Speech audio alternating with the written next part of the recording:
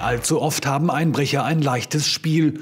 Die Unionsfraktion hat deshalb durchgesetzt, dass Sicherungsmaßnahmen der Bürger mit 30 Millionen Euro gefördert werden. Statistisch findet äh, alle dreieinhalb Minuten in Deutschland ein Einbruch in ein Haus oder in eine Wohnung statt. Äh, das ist die negative Botschaft. Die positive Botschaft ist die, dass immerhin 40 Prozent aller Einbruchsdiebstähle im Versuchsstadium stecken bleiben, weil die Täter entweder erwischt werden oder weil sie die Befürchtung haben, dass sie äh, erwischt werden. Und einbruchshemmende Maßnahmen, sowohl elektrische als auch mechanische Sicherungsmittel, sind hier ein sehr wirksames Instrument, um Täter auch davon abzuhalten, äh, weiter äh, es zu versuchen, in die Wohnung oder in das Haus einzusteigen. Mieter und Immobilienbesitzer können die staatlichen Zuschüsse bei der KfW-Bank beantragen. Bezuschusst werden 10 Prozent der Investitionssumme ab einer Investition von 2000 Euro bis maximal 15.000 Euro. Hierzu haben uns viele Fragen und Anregungen von Bürgerinnen und Bürgern erreicht. Monika Weimar zum Beispiel fordert mehr Polizisten in den Straßen. Natürlich ist das vollkommen richtig. Der Staat ist gefordert, äh, indem er insbesondere durch eine erhöhte Polizeipräsenz das subjektive Sicherheitsempfinden der Bürger stärkt und auch ganz konkret äh, in den Gemeinden, in den Kommunen mit dazu beiträgt, äh, dass Täter allein schon durch eine starke Polizeipräsenz in den Straßen, an den öffentlichen Plätzen davor abgehalten werden, in Häuser oder in Wohnungen einzubrechen. Wir als Bund gehen hier auch vorbildlich voran, indem wir für das kommende Jahr 1000 zusätzliche Stellen bei der Bundespolizei geschaffen haben und nicht nur für das kommende Jahr, sondern auch für die beiden darauffolgenden Jahre werden jeweils 1000 zusätzliche Stellen bei der Bundespolizei geschaffen. Das ist uns äh, als CDU-CSU ein wichtiges Anliegen.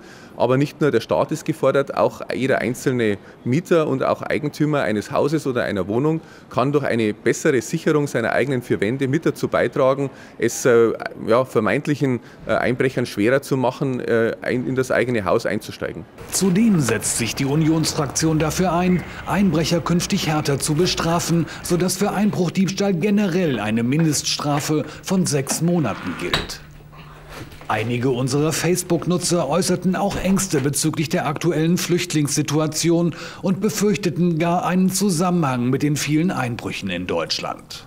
Ich halte es für vollkommen verfehlt, die Flüchtlingskrise und den Zustrom von äh, Hunderttausenden von Flüchtlingen in Bezug zu setzen zu der deutlichen Zunahme der Wohnungseinbruchsdiebstähle.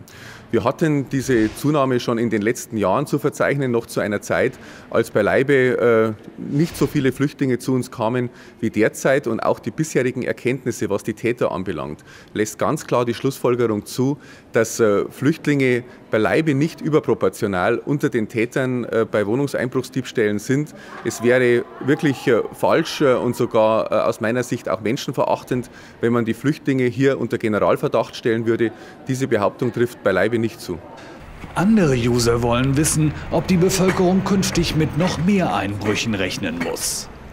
Ich bin der festen Überzeugung, mit einem richtigen Instrumentenkoffer, der daraus besteht, dass wir einerseits mehr Stellen bei der Polizei schaffen, andererseits äh, das Strafrecht auch an der einen oder anderen Stelle nachschärfen und auch jetzt mit diesem äh, Programm äh, bei der Kreditanstalt für Wiederaufbau in Höhe von 30 Millionen Euro es auch jedem Eigentümer und auch Mieter einer Wohnung und eines Hauses ermöglichen, selbst mit dazu beizutragen, seine eigenen vier Wände zu sichern, wird es gelingen, die, den Anstieg der Wohnungseinbruchstiefstelle zu stoppen und die Zahl auch wieder zurückzuführen.